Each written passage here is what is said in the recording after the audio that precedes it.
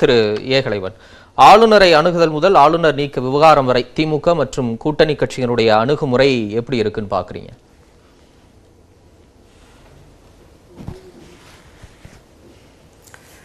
தொடக்கத்தில் ஒரு விஷயம் பேசணும். வலதுசாரி தோழர் சொன்ன ஒரு விஷயம் வந்து ஆளுநருடைய அந்த ஜெனட்டிக் மரபணுவில் வந்து அவர் ஒரு இந்துவாக வளர்ந்தார் வீட்டில் தவழ்ந்தார் உருண்டார் பிறண்டார் விளக்கம் சொல்லியிருந்தார்.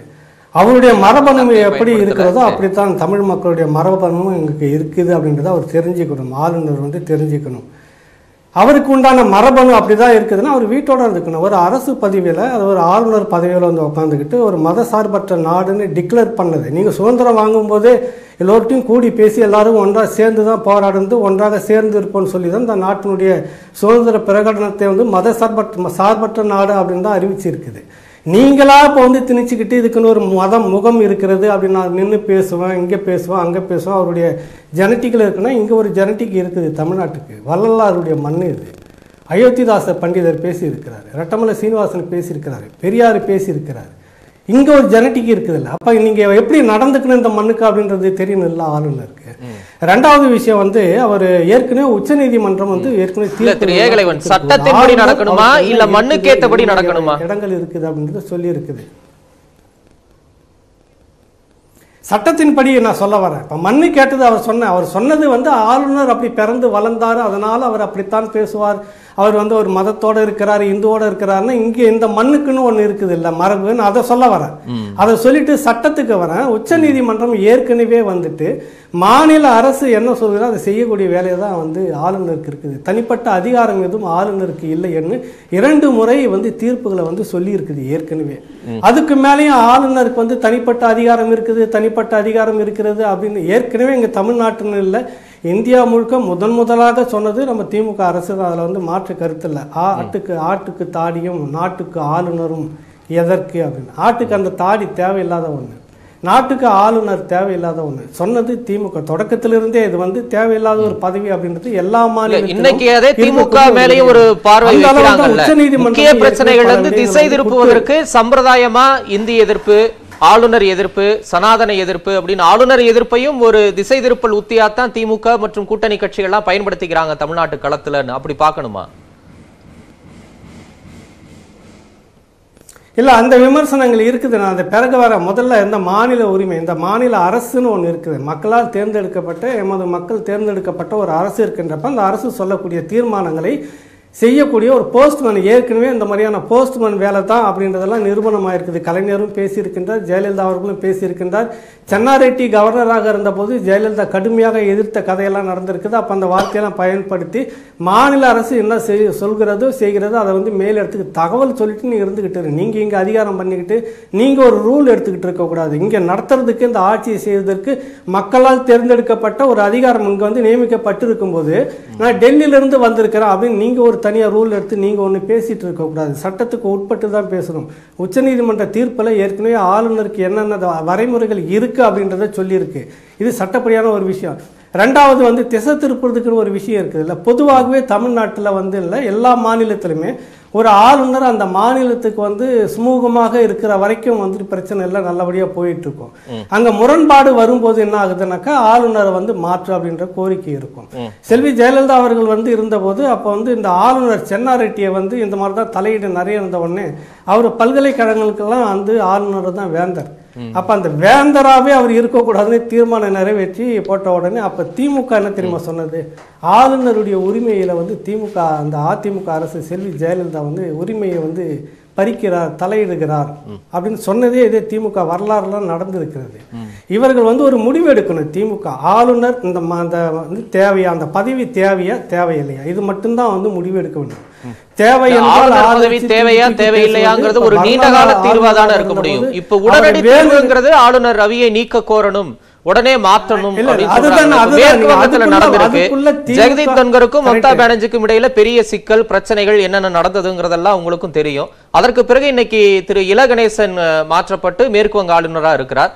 அவருடைய இல்ல விழாவுக்கு ரொம்ப மகிழ்ச்சியோடு மம்தா பானர்ஜி வந்து செண்டை மேளம் வாசிச்சு ரொம்ப குதூகலமா இருந்துட்டு போகக்கூடிய ஒரு நிலைமை எல்லாம் நடந்திருக்கு. அப்படியான ஒரு நிலைமை தமிழ்நாட்டுல நடக்குமா? இந்த எதிர்ப்புகள் மூலம் சாத்தியம் நினைக்கிறீங்களா?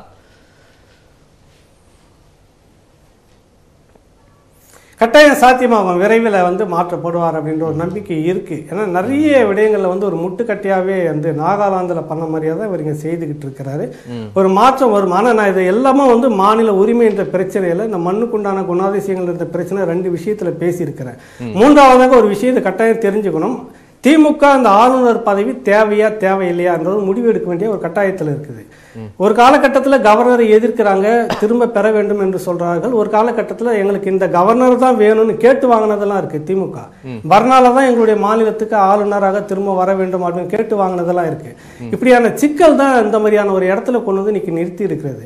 வேண்டாம் என்று முடிவு எடுக்கும்போது இந்திய அரசியல் சாசன சட்டத்தில் அதுக்கு இடம் இருக்கிறது. நாற்பத்தைந்து நாடாளுமன்ற உறுப்பினர்கள் இப்போ திமுக தோட நாடாளுமன்ற உறுப்பினர்கள்லாம் வந்துட்டு அங்க நாடாளுமன்றத்தில் குரல் எழுப்பினார்கள் அப்படின்னு தான் வருது.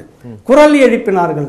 இப்ப ஜனாதிபதி கிட்ட மனு கொடுத்து இருக்கிறார் மனு போய் சேர்ந்துருச்சு. இதுதான் பேசிக்கிட்டு இருக்கிறாங்க.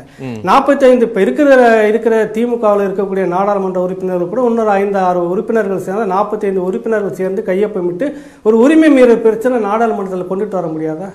தமிழ்நாடு மட்டுமல்ல திரா இந்தியா முழுக்க திராவிட ஆட்சியை திராவிட மாடல் ஆட்சியை கொண்டுட்டு போக போறோம்னு சொல்லிக்கிற திமுக இது சார்ந்த ஒரு கூட்டமைப்பை ஏற்படுத்த போகிற திமுக இங்கே தமிழ்நாட்டை தாண்டி மற்ற மாநிலங்களில் இருக்கக்கூடிய நாடாளுமன்ற உறுப்பினர்களையும் சேர்த்து ஒரு உரிமை மீறல் பிரச்சனை ஏன் நீங்க கொண்டுட்டு வர மாட்டீங்க? இது வரைக்கும் செய்ததே இல்லையா? அப்படின்ற கேள்விதான் இப்ப மக்கள் மத்தியில ஒரு கேட்கலாம் அவர்கிட்ட இது எல்லாமே ஒரு சந்தர்ப்பவாதம் தான். நேரடியா எதிர்க்கணும் அப்படின்னா துணிச்சலா எதிர்க்கிறார்கள். மக்கள் மக்கள் வந்து துணை இருக்கிறார்கள். அதுல மாற்று கருத்து இல்ல. மாநில உரிமையில தொடர்ச்சியாக தலையிட்டு கொண்டிருக்கிற இந்த ஆளுநரை திரும்ப பெற வேண்டும் என்பதை விட உரிமை மீறல் பிரச்சனை கொண்டுட்டு வாங்க முடிஞ்சு போகுது. மற்ற மாநிலங்கள்லாம் சேர்ந்து ஒரு ஆர்கனைஸ் பண்ண முடியாதா? எல்லாரும் சேர்த்து இது வந்து எல்லா மாநிலத்து ம். நன்றி திரு ஏகலைவன் நான் மற்ற விருந்தினர்கள்ட்ட போயிட்டு மறுபடியும் வர நிறைவு கருத்தா திரு நித்யானந்தம். நிர்வாக ரீதியிலாவும் முட்டுக்கட்டை மதச்சார்பைக்கு எதிராகவும் பேச்சு இந்தியாவினுடைய அந்த பன்முகத்தன்மைக்கு வேட்டு வைக்கக்கூடிய அளவுக்கு ஆளுநர் செயல்படுகிறார் அப்படின்லாம் விமர்சனங்கள் வருது. எப்படி பார்க்கலாம்? அனைவருக்கும் வணக்கம். ம். விமர்சனங்கள் யார் வேணால் வைக்கலாம் யார் மேலே வேணால் வைக்கலாம். ம். அவர்களுடைய கருத்து. ம். அதில் எந்தவித பிரச்சனையும் கிடையாது. அது வரம்ப மீறி இருக்கக்கூடாது. ஆளுநருடைய தகுதி அவர் விரட்டப்பட்டார். அங்கிருந்து கிழக்கு மா மாநிலங்களிலிருந்து விரட்டப்பட்டார். இப்படியெல்லாம் சொன்னால் தமிழ்நாட்டில் எம்ஜிஆர் அவர்கள் உயிரோடு இருக்கின்ற வரை திராவிட முன்னேற்ற கழகம் கோட்டை பக்கத்தில் வரவே முடியவில்லை. விரட்டப்பட்டுட்டாங்களா? மீண்டும் வரலையா இவங்க? அதனால் நாம நம்முடைய வரலாறு என்ன அப்படிங்கிறத கொஞ்சம் கண்ணாடி முன்னாடி நின்று பார்க்கணும். எம்ஜிஆர் அவர்களும் ஜெயலலிதா அவர்களும் ஒரு முறை ஜெயலலிதா தவறு செய்து விட்டு விட்டு கொடுத்தார்கள். அதாவது முடிஞ்சு போச்சு. அதற்கு பிறகு ஜெயலலிதா உயிரோடு இருக்கிற வரையிலும் எம்ஜிஆர் உயிரோடு இருக்கிற வரையிலும் திராவிட முன்னேற்ற கழகத்தால் என்ன செய்ய முடிஞ்சது? மக்கள் விரட்டி தானே அடித்தார்கள். அப்படி பேசலாமா? நான் அப்படி பேச விரும்பல. அந்த மாதிரி எல்லாம் பேசினா அதான் பேசிட்டீங்களே சார். இல்ல அதுக்கான பதில் இப்படித்தான் வரும். அதனால தான் அதனால தான் உங்களுக்கு அரசியல்ல காழ்ப்புணர்ச்சி வரதுக்கு காரணம். தனிப்பட்ட முறையில் அவர் விரட்டப்பட்டார் அப்படின்னா நம்ம சொல்றது அநாகரிகமானது அதை நம்ம தவிர்க்கணும் அப்படிங்கிறத நான் நம்முடைய சகோதரர்கிட்ட நான் அன்போடு கேட்டுக்கொள்கிறேன். அது மட்டும் இல்ல நூற்றி ஐம்பத்தைந்து நூற்றி ஐம்பத்தாறு அரசியலமைப்பு சட்டத்துல கவர்னருக்கு என்ன அதிகாரங்கள் வழங்கப்பட்டிருக்கிறது யார் நியமிக்கிறார்கள் கவர்னரை என்று சொல்லும் பொழுது குடியரசுத் தலைவர் நியமிக்கிறார்கள். அவருக்கு என்ன அதிகாரம் இருக்கிறது என்று சொன்னால் குடியரசுத் தலைவர் விரும்புகின்ற வரை அவர் அங்கே ஆளுநராக இருக்க முடியும். ஆமா. குடியரசுத் தலைவர் திரும்ப பெற்றால் தவிர வேறு எந்த வழியாலும் ஆளுநரை திரும்ப பெற முடியாது. அதுக்கு தான் குடியரசுத் தலைவர்கிட்ட போயிருக்காங்க. ஆமா. அவர் அவர் விரும்பினாதான் பெற முடியும். புரியுதுங்களா? அப்போ குடியரசுத் தலைவரை பார்த்து இவங்க இது சரியான நடவடிக்கை. இப்போ இவங்க போய் கையெழுத்து போட்டு போய் பார்க்கறதுங்கிறது சரியான நடவடிக்கை. ஆனால் பாராளுமன்றத்தில் முழங்கினார்கள் பேசினார்கள். இவையெல்லாம் பாராளுமன்றத்தில் பேச வேண்டிய வேலையே கிடையாது. நீங்கள் தனிப்பட்ட முறையிலே உள்துறை அமைச்சரையும் பிரதமரையும் சந்தித்து பேசியிருந்தால் கூட பலன் கிடைத்திருக்கலாம். பாராளுமன்றத்தில் எதிர்க்கட்சியாக பேசுவதில் கூக்குரலிடுவதில் என்ன இருக்கிறது? அது ஜனநாயக உரிமை இல்லையா? ஜனநாயக அது என்ன? சட்டப்படி சட்டப்படி பலனளிக்குமா? இப்பொழுது போய் ஜனநாயக உரிமையும் சட்டப்படி பலன் அளிக்காத எதையுமே செய்ய வேணாமா ஆமாங்க நான் என்ன சொல்றேன்? நீங்க பொதுக்கூட்டத்துல பேச வேண்டியது எதிர்க்கட்சிகள் போராட்டம் நடத்தி ஆளுங்கட்சி செய்ய செய்யவே வேணாமா? போராட்டமும் பொதுக்கூட்டமும் மக்கள் மத்தியிலே செய்ய வேண்டியது. மக்கள் மன்றத்திலே செய்ய வேண்டியதல்ல. பாராளுமன்றத்துல போய் நீங்க கோஷம் போட்டு உங்களுக்கு தெரியும் இது ஒண்ணும் நடக்காது. சரி அப்ப ஆளுநரை நீக்க என்ன செய்யணும்? உங்க யோசனை சொல்லுங்களேன். இதெல்லாம் வேலைக்கு ஆகாது. என்னோட யோசனை இருக்கட்டும். ஆளுநரை நீக்குவதற்காக இதெல்லாம் செய்யக்கூடாதுன்றீங்க. கேளுங்க கேளுங்க ஐயா. கொஞ்சம் நீங்க கேள்வி கேட்டீங்க பதில் சொல்ல அனுமதிக்க மாட்டேங்கிறீங்களே. சொல்லுங்க. ரெண்டாயிரத்தி ஒண்ணுல உச்சநீதிமன்ற நீதிபதியாக அவருடைய தலைமையிலே இருந்த வெங்கடாச்சலையா அவருடைய பேர். நீதிபதி ஜஸ்டிஸ் வெங்கடாச்சலையா. அவருடைய தலைமையிலே ஒரு கமிஷன் அமைத்து ஆளுநர் வரம்பு மீறி செயல்பட்டாலோ சட்டமன்றத்திலே அதாவது மாநில ஆளுங்கட்சி மாநில அரசுக்கு ஒத்துழைக்காமல் செயல்படுகின்ற ஒரு நிலை ஆளுநர் ஏற்படுத்துவார் என்று சொன்னால் அவரை எப்படி திரும்ப பெற வேண்டும்? என்பது போன்ற பல பரிந்துரைகளை இரண்டாயிரத்தி ஒன்றிலே அறிக்கையாக தந்திருக்கிறார்கள். இது அனைத்து அரசியல் கட்சிகளுக்கு தெரியும் பாராளுமன்ற உறுப்பினர் அதை நீங்க பார்க்கலாம். இருக்கிறது. ரெண்டாயிரத்தி ஒண்ணுக்கு பிறகு இன்றைக்கு ரெண்டாயிரத்தி இருபத்தி ரெண்டு இதுவரை அந்த பரிந்துரையை பரிசீலிக்கவோ எடுத்து பாராளுமன்றத்தில் பேசவோ கோஷம் போடுவதில்லை. இப்படி ஒரு அறிக்கை தந்திருக்கிறார். அதன் நிலை என்ன?